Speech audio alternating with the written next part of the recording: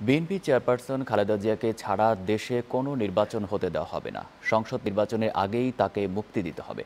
নয়াপল্টনে কেন্দ্রীয় কার্যালয়ের সামনে সমাবেশে এসব কথা বলেন বিএনপি নেতারা। তারা বলেন, শেখ হাসিনার অধীনে দেশে কোনো নির্বাচন হবে না। নির্বাচনের আগে সংসদ ভেঙে দিতে হবে। সুষ্ঠু নির্বাচন হলে আওয়ামী লীগ বিশটি আসনও পাবে না বলে মন্তব্য করেন তারা। কাইসার রহমানি জানাচ্ছেন বিস্তারিত। দীর্ঘদিন পর নয়াপল্টনের কেন্দ্রীয় কার্যালয়ের সামনে বিএনপির সমাবেশ।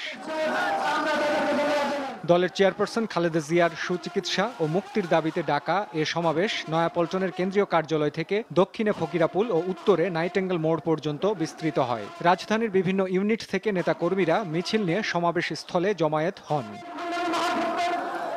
কার্যালয়ের সামনে বানানো অস্থায়ী মঞ্চ থেকে বক্তব্য রাখেন নেতারা।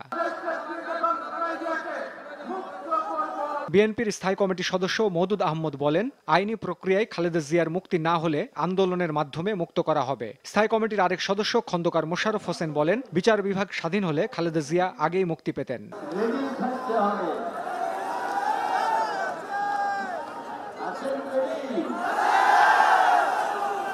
দেখা যাবে সময় আসছে। যদি আইনি প্রক্রিয়ায় সম্ভবপর না হয় তাহলে রাজপথই হবে একমাত্র পথ তাকে মুক্ত করা। সেই জন্য আপনাদেরকে প্রস্তুতি নিতে হবে এবং প্রস্তুত থাকতে হবে। যতই ষড়যন্ত্র করা হোক, যতই নির্লক্ষ্য করা হোক না কেন দেশ নেত্রী বেগম খালেদা জিয়াকে ছাড়া এদেশের জনগণ আগামী নির্বাচন হতে দেবে না দেবে না, দেবে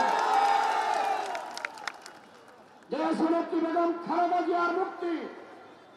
আর আগামী একেবারে জাতীয় সংসদ নির্বাচন এবং গণতন্ত্র পুনরুদ্ধার একই সূত্রতে গাথা দলের মহাসচিব ফখরুল ইসলাম আলমগীর বলেন খালেদা জিয়াকে ছাড়া কোনো নির্বাচন হবে না। যে অবস্থার পরিবর্তন চাই বিএনপিকে ক্ষমতা আনার জন্য নয় আমাদেরকে এমপি মন্ত্রী বানানোর জন্য নয় আমরা এই দেশের মানুষের অধিকারকে ফিরিয়ে দেওয়ার জন্য এই আন্দোলন করতে